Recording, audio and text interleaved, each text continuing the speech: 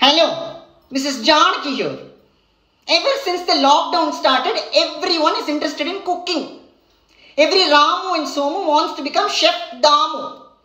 WhatsApp group திறந்தாலே cook with Comali master chef லெவலுக்கு competition போயிட்டு இருக்கு டெய்லி ஒரு ஃபோட்டோ போட்டுற வேண்டியது டுடே ஸ்பெஷல் டுடே ஸ்பெஷல் அப்படின்னு என் ஹஸ்பண்ட் பாட்டுக்கு ஓரமா லுங்கில கிங்கினி மங்கினின்னு ten ten ten ten ten ten ten ten TikTok பண்ணிட்டு இருந்தாரு டேவிட் வார்னர் மாதிரி but TikTok got banned now he also wants to become a food blogger சமைக்கிறது என்னமோ நான் தான் ஆனால் கேஸ் ஸ்டவ் மேலே நின்று விளைச்சி விளைச்சி ஃபோட்டோ எடுத்து போடுறது மட்டும் அவர்.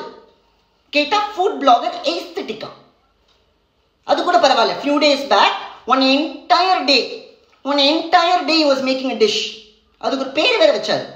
ப்ரோபயோட்டிக் யோகர்ட் ரிசோட்டோ அப்படின்னு.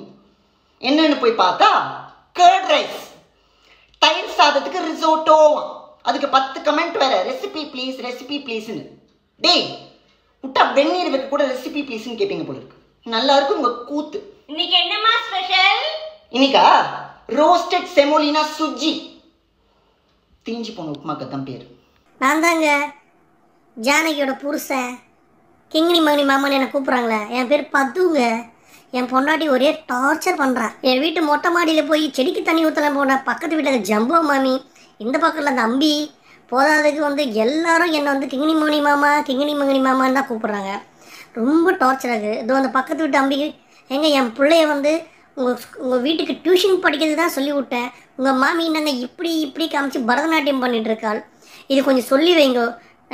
நான் என்னங்க பண்ணுறது ஏதோ நானே எனக்கு வயிற்று பழப்புக்கு ஒன்றும் இல்லை நான் மணியாட்டுறதை விட்டுட்டு நான் ஏதோ கொஞ்சம் ஃபுட்டு சமைச்சா அவள் என்னடா நான் வி பிளாகர் பண்ணுறேன் வி பிளாகர் ஏதோ போனால் போட்டோம் டியூஷன் எடுக்கிறாளே கொஞ்சம் சோறு சமைச்சு போகலான்னு அவள் என்னையே குத்தம் சொல்கிறா ஆ?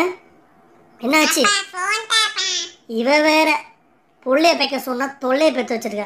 ஐயோ சாமி.